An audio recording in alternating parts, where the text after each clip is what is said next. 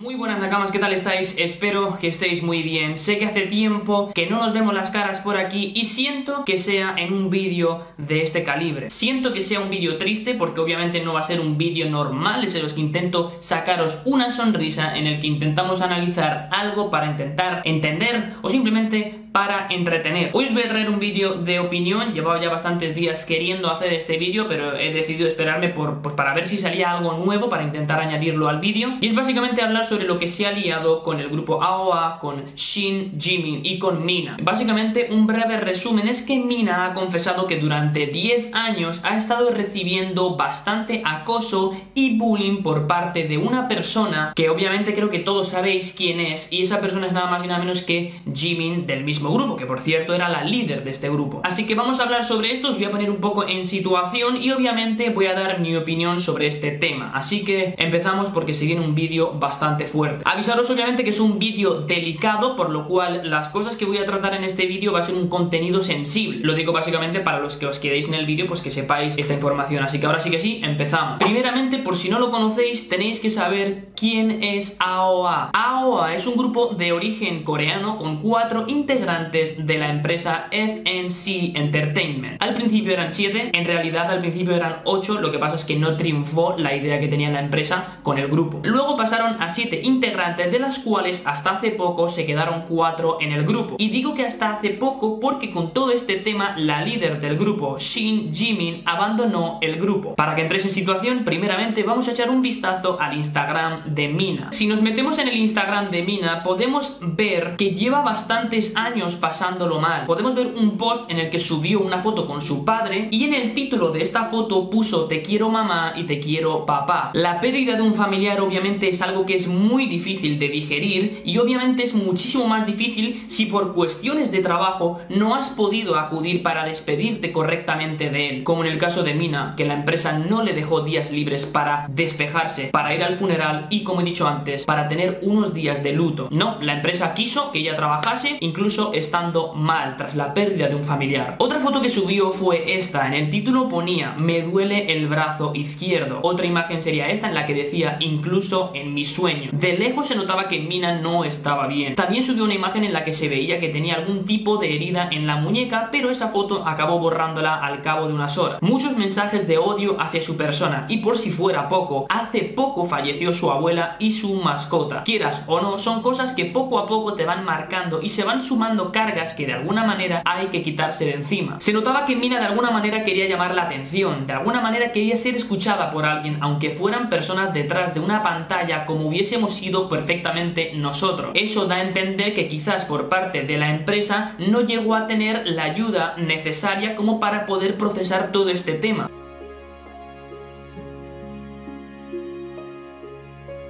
A todo esto se le junta el acoso y el bullying recibido por Shin Jimin, la ex líder de este grupo. Es cierto que Mina dijo que los comentarios negativos de la gente no le afectan, pero explotó con este en concreto que estáis viendo en pantalla. Fue un mensaje en el que le decían que desapareciera. Ella, ante todo esto, publicó lo siguiente, me encantaría poder desaparecer yo también, pero no puedo porque tengo que cuidar de mi madre. Y sí, es cierto, ahora mismo me lloverán miles de mensajes de personas que me van a decir que no tengo cerebro, y probablemente sea cierto, sí, no tengo cerebro, me falta educación. Desde muy pequeña mi familia y yo no vivíamos bien y necesitaba ganar dinero. Un mensaje bastante largo que lo tendréis en pantalla tratando de explicar cómo nadie tenía ni puta idea por lo que ella estaba pasando y por lo que está pasando a día de hoy, como para que alguien venga a decirle desaparece o no vales nada, o ya sabéis, los típicos comentarios de personas haters que no se ponen en el lugar de la otra persona que está detrás de una pantalla. El punto es que Mina contó anécdotas sobre cierta persona que luego se descubrió que era Shin Jimin, y ahora os cuento por qué. Mina contó que sufrió bullying y un tremendo acoso por parte de Jimin. También dijo que dejó el grupo por culpa de Jimin y que se medica todos los días por culpa de estas cicatrices mentales que le dejó Jimin. Informándome más sobre el el tema, vi que el padre de Jimin falleció hace poco y que Mina había acudido al funeral también. Y resulta que ambas se encontraron allí y parece que ambas habían quedado bien. Es decir, que quedaron bien en ese momento. Pero parece ser que pensándolo de nuevo, Mina se dio cuenta de que a diferencia de lo que le pasó a ella con su padre, que no pudo despedirse de él por culpa del trabajo que tenía estando con Aoa, y que resulta que a Jimin sí le cancelaron todas las actividades, le recordó a Mina que todavía seguía odiándola. Aparte de que en una ocasión Jimin le dijo a Mina que ella no debía de llorar por este tipo de cosas, como por ejemplo la pérdida de un familiar, y que debía de ser fuerte. Y es como, ¿de verdad le dices eso a una persona? Es como justicia divina, porque después le pasa algo parecido y obviamente Jimin estaba y se hallaba llorando por la pérdida de su padre. El caso es que después de todas estas publicaciones, que me imagino que habréis visto pues aquí en pantalla, de el desahogo de Mina hacia todo lo que ha tenido que sufrir durante estos años, ya sea a nivel personal como a nivel de que alguien de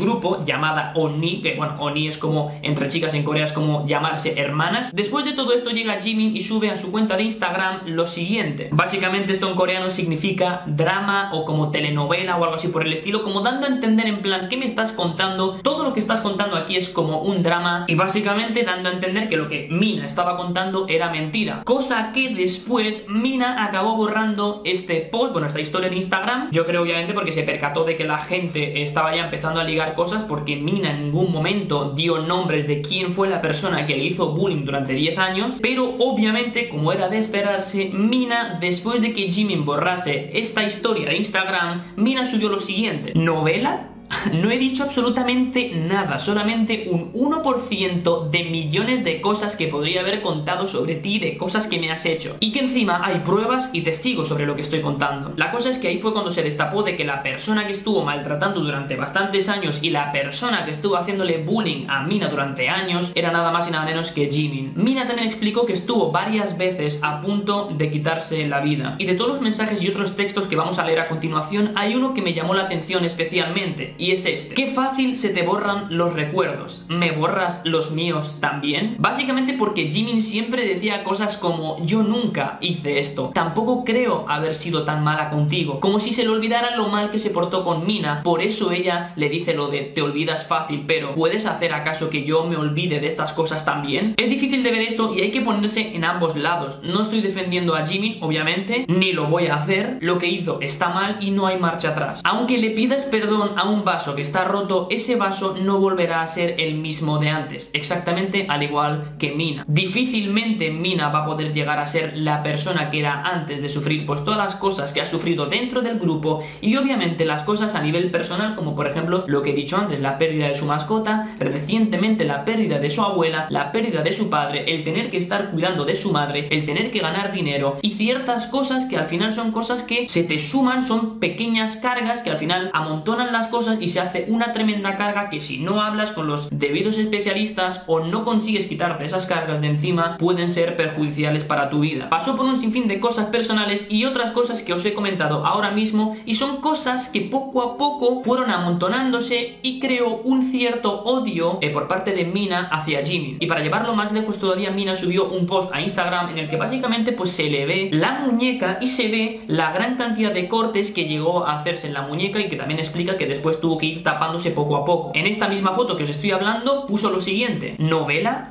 Es difícil decir que esto sea una novela. Hice varios tratamientos para borrar la cicatriz, pero lo que me hiciste no lo puedo borrar. Sencillamente Mina está pidiendo el perdón de Jimmy, que Jimmy se disculpara ante ella. No quiere compensación por daños mentales y tampoco quiere llevarlo a juicio porque no tiene dinero. Ella solamente lo que quiere es que Jimmy le pida perdón por todo el maltrato de mierda que le hizo durante tantos años. Lo que pasó después de esto obviamente es que Jimmy y varias personas del equipo fueron a casa de Mina y Mina cuenta en otro post de Instagram que Jimin entró a su casa y básicamente entró como gritando, rollo, eh, ¿dónde está el cuchillo de la cocina? Eso es lo que quieres, no matarme. Con lo cual una persona que va a hablar y va a pedir perdón sobre las cosas que le ha hecho, yo creo que no debería entrar así. Y eso dice mucho de Jimin en este caso. Al final obviamente pues parece ser que las cosas se calmaron, consiguieron sentarse alrededor de una mesa y hablar las cosas y parece ser que en privado pues se pidieron perdón. Pero parece ser que ahí iba a acabar todo, ¿verdad? Pues no, resulta que no acaba ahí y resulta que hay más. Al día siguiente, Jimin subió un post pidiéndole perdón a Mina, pero obviamente se notaba de lejos